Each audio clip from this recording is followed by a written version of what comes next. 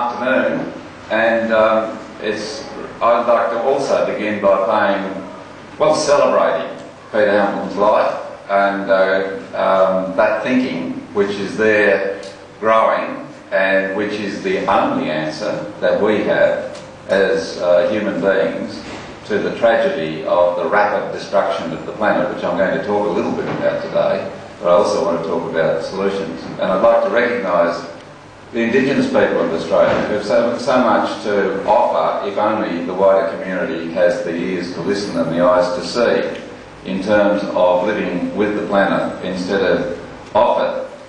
I've, uh, I've begun this little trip over on the Namoi Plains, the Liverpool Plains, south of Gunnedah, where there's a group of farmers blockading one of the world's biggest mining corporations, BHP Billiton, because they don't want them to come in and tunnel under their farmlands, which are some of the richest food producing lands on the face of the planet, without they know what impact that's going to have on the water systems. The Liverpool Ranges, the water flows down on there, on the ground and underground, and it's absolutely central to this, this happy conjunction of rich soils magnificent food, food producing fertile soils and water. Uh, and this mining corporation, to get coal, wants to come and dig straight through under that, and we don't know what the outcome is going to be. And to cut a long story short, I will, on behalf of the Greens, move an amendment first moved by the independent member for New England um, in the lower house when the water bill for national management of the whole of the Murray-Darling Basin comes into the Senate in the coming week or two to insist that first of all be an independent scientific inquiry into the impact of putting massive tunnels under the Liverpool Plains on the water system. Because she said it's a simple question, which is more which is more valuable to us? Is it coal or is it food? We know coal is rapidly wrecking our future through its impact on climate change. We also know that by mid-century, best estimates, there'll be 9 to 10 billion people on the planet all wanting to eat. And uh, let me put that in perspective. When I was a boy going to school in Armidale and Bellingen, there were two and a half billion people on the planet. We're now at 6.7 billion, headed for 9 to 10 billion on most modern, modern modest estimates, and if we get the 5 metre sea level rise, that now is a fairly modest estimate by later this century or next century, most of the biggest cities of 50 million people or more will be flooded to boot. And the estimates of 150 million people on the move by mid-century were going to look um, very, very frugal indeed. Now, one of the things about all this is how are we going to feed this human a month ago when I was up there with 500 farmers objecting to a dam at Traveston Crossing, which the Bligh government in Queensland wants to put through and which is now on the table of the most powerful environmentalist in the country, Peter Garrett.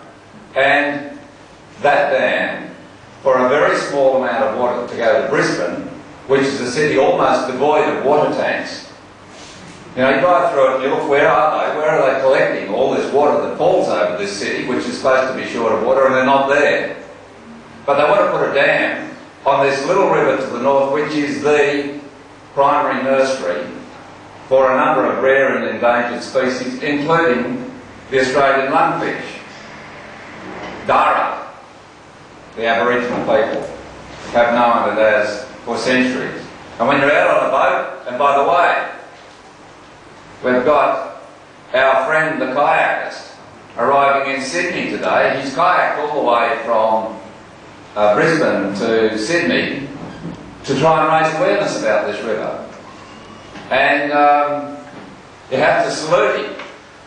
And I, and I heard it on the radio news coming up, and I thought, there's another person who's actually gone right out of his way, out of pocket, risked the oceans all the way down the coast here to make a statement about something people don't know about.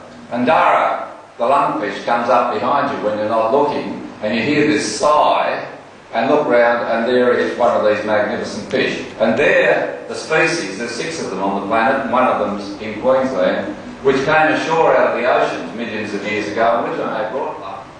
Is it beyond the wit and wisdom of this nation, arguably the world's worst per capita polluter of the atmosphere with greenhouse gases,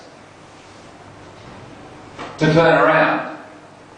Let me give you some reliable figures on what we could do if we weren't obstructed by both the old parties under the thumb of the vested interests of the coal and the logging and the aluminium and the other big end of town industries like BHP which wants to mine under the Liverpool Plains. The Australian National University did a study a couple of months ago, came out with a study, which looked at logging of old growth forests, forests and native woodlands in Australia. And what you may not know, it's not just a Tasmanian or Victorian or southern New South Wales problem, but on the Tiwi Island north of Darwin, they have in the last four years while we've been asleep in our beds, logged 60 thousand football fields in the area of those islands, stripped them bare and sent the wood off to um, countries to the north. It's a phenomenon which is gathering pace across the country. It's not slowly going away. And the study found that instead of there being 217 tonnes of pollution going into carbon pollution going into the atmosphere per hectare, which is what the Greenhouse Office, the, the national experts have been saying was the case. On average, three times that, 640 tonnes of greenhouse gases per hectare goes into the atmosphere. And when you get to the tall forests of the Styx and Weld Valley and East Gippsland in Tasmania, it's 10 times worse. It's over 2,000 tonnes per hectare of poisonous, long-term, planet dwindling and searing pollution going out of that human-led, chainsaw-led, firebombing afterwards process of clear felling of our forests and woodlands in this country.